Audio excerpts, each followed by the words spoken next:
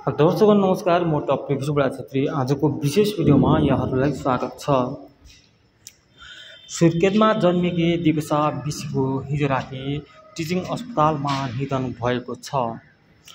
उनको आफ्नै तनाव कारणले गर्दाखेरि आफूले विष खाएको विष खाएर प्रचार गर्दै गर्दा क्रममा उनको निधन भएको हो।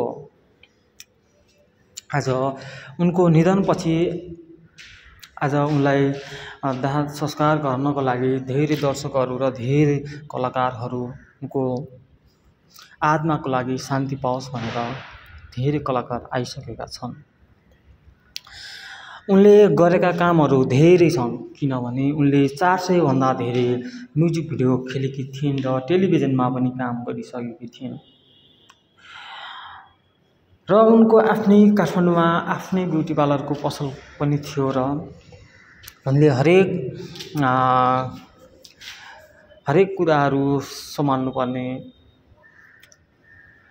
भएको कारणले उनले आफ्नै तनाव र आफ्नै टेन्सनको कारणले गर्दाखेरि उनले यो अवस्था गरेको पाइन्छ। दर्शकबिन यो भिडियोलाई कस्तो लाग्छ?